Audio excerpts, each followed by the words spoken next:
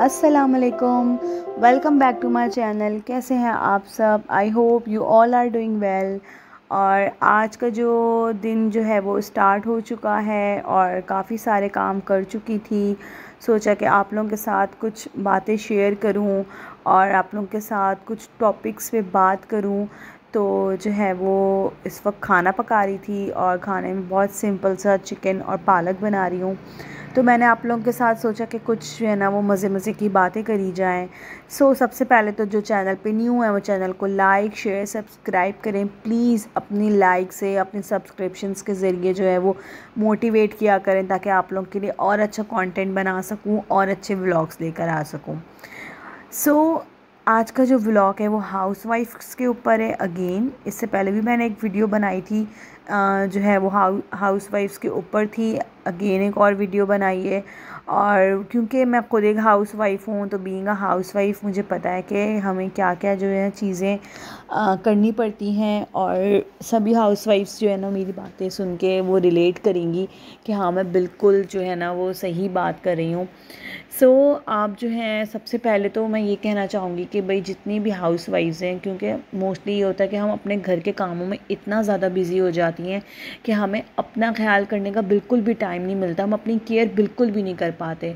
सो सबसे पहले अपनी केयर करें, अपनी सेल्फ़ केयर का ख्याल रखें और जो है ना, वो अपने आप से मोहब्बत करें। लव योर सेल्फ जब आप अपने आप से प्यार करेंगी, अपने आप से मोहब्बत करेंगी, अपनी केयर करेंगी ना तो आप सब चीज़ें करने के लिए ना, आप रेडी रहेंगी। आपको सबसे, जब आप जो चीज़ अपने लिए इंसान करता है ना तो फिर उसका दिल चाहता है वो दूसरों के लिए भी करे। जब आप अपना ख्याल रखेंगी तो आप ऑटोमेटिकली दूसरों का भी ख्याल रखेंगी। तो सबसे पहले नंबर वन जो एक housewife being housewife जो आपकी सो नंबर वन जो बीइंग अ हाउस वाइफ जो आपकी फ़र्स्ट प्रायोरिटी होनी चाहिए, वो आप ख़ुद होनी चाहिए। जब आप अपना ख्याल रखेंगी, जब आप बिल्कुल सही रहेंगी तो आप हेल्दी होंगी, आप अच्छी सी रहेंगी तो आपका ऑटोमेटिकली ख़ुद ब खुद सब चीज़ें करने का दिल चाहेगा। आप अच्छे से चीज़ों को मैनेज कर पाएँगी। सेकेंड थिंग इज़ डैट कि आप जो है अपने कामों को बहुत स्मार्टली मैनेज किया करें। मतलब ये नहीं है कि जैसे हम ये होता है ना कि हम मोस्टली ये होता है कि हम बहुत सारे काम ना एक साथ लेके बैठ जाते हैं कि आज हम जो है वो सफ़ाई भी कर लेते हैं, आज हमने जो है वो बच्चों का कमरा भी साफ़ कर लेना है, आज हमने उनके कबर्ड्स भी साफ़ कर लेने हैं, आज हमने जो है ना बेड शीट्स भी चेंज करने लगी हैं। तो ये सारी चीज़ें क्या होती हैं, वो मुझे लगता है कि वो ना एक मैस बन जाता है जो आपसे हो नहीं पा रहा होता है। वो फिर आपका काम इनकम्प्लीट रह जाता है मतलब ना आपका कमरा साफ़ हो पाता है, ना आपकी चीज़ें कंप्लीट हो पाती हैं और वो काम भी जो है ना मुझे लगता है वो आप दिल से और अच्छे से नहीं कर पाते हैं। सो so, इसके लिए कि आप वर्क स्मार्टली आप स्मार्टली काम करें। आप जो हैं वो जैसे आप ना अपना एक स्केजूल सेट कर लें एक टाइम टेबल बना लें कि आज जो है ना मुझे आज मैंने आज के दिन मैंने कबर्ड साफ़ कर लेने नेक्स्ट डे मुझे जो है ना वो इन लोग बच्चों के बेडशीट चेंज कर देनी है। और उसके वेरी नेक्स्ट डे फिर आपने अपना रूम क्लीन कर लेना है, उसकी डीप क्लीनिंग कर लेनी है तो आप इस तरह से अपना एक टाइम टेबल सेट कर लें। तो इस तरह से क्या होगा कि आप ख़ुद भी नहीं थकेंगी और आपके काम भी साथ साथ चलते रहेंगे। और देखें, क्योंकि एक काम तो हमें करना होता नहीं है कि हम सिर्फ़ बोलें कि हमें सिर्फ़ आज कमरे कहीं बच्चों का कमरा साफ़ करना है और इसके अलावा हमें कोई काम नहीं करना। ऐसा तो होता नहीं है। क्योंकि हमें कमरा भी साफ़ करना है तो हमें खाना भी पकाना है, हमें बच्चों को भी नहलाना है, हमें उन्हें पढ़ाना भी है, हमें हस्बैंड आ रहा है तो उसको भी सब चीज़ें प्रोवाइड करनी है, उसको भी खाना देना है, उसको भी चीज़ें करनी है। तो हमें हर चीज़ मैनेज करनी होती है। तो इसके लिए ये कि आप स्मार्टली वर्क करें, आप अपना एक स्केजुअल बनाएँ, आप अपना एक टाइम टेबल सेट करें कि भाई आज मैंने ये काम कर लिया तो कल मैं ये काम कर लूँगी, परसों मैं फ़लाँ काम कर लूँगी। तो इससे जो है ना, आप ख़ुद भी नहीं थकेंगी, आपका काम भी होगा और जो है ना, सब चीज़ें आपसे अच्छे से हैंडल होंगी।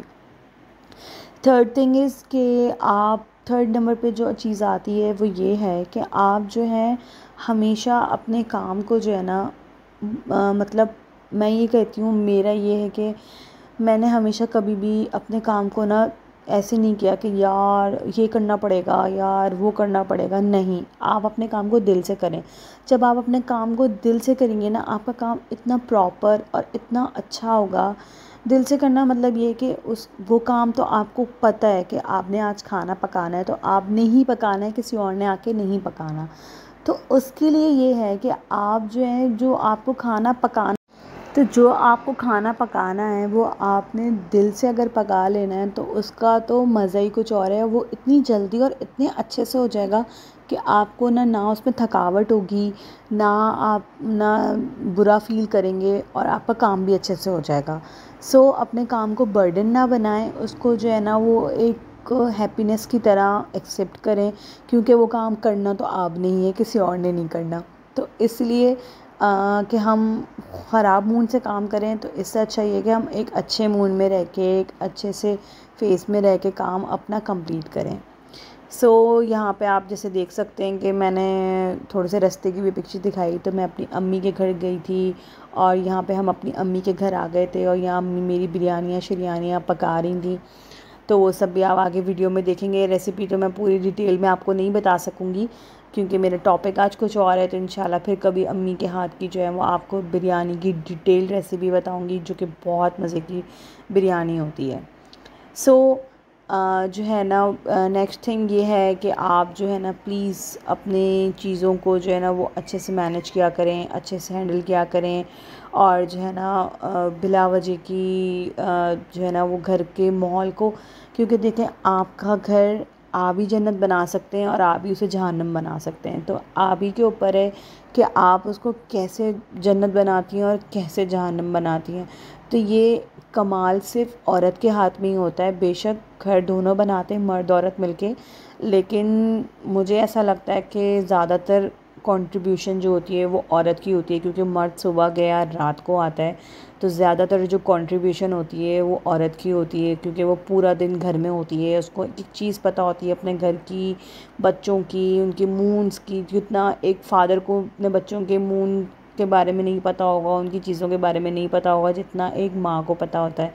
तो वही बात है कि जो एक हाउस वाइफ है, जो घर में रह रही है ट्वेंटी फोर आवर्स पूरा ज़िंदगी, पूरा टाइम अपना दे रही है तो उससे ज़्यादा उस घर को और कोई नहीं जान सकता जितना वो जान सकती है। तो अपने घर को, अपनी चीज़ों को हैप्पीली हैंडल करें, अच्छे मूड में रहें, क्योंकि जब आप खुद दिल से खुश होते हैं ना तो वो खुशी आपकी स्किन पे आती है। जब आप और स्किन से रिलेटेड भी आके बहुत मज़े मज़े की वीडियोस आने वाली हैं, बहुत अच्छी अच्छी टिप्स और ट्रिक्स लेके आने वाली हूँ और DIY भी बहुत अच्छे अच्छे लेकर आऊँगी। अपना बहुत सारा ख्याल रखिएगा, दुआओं में याद रखिएगा। अल्लाह हाफ़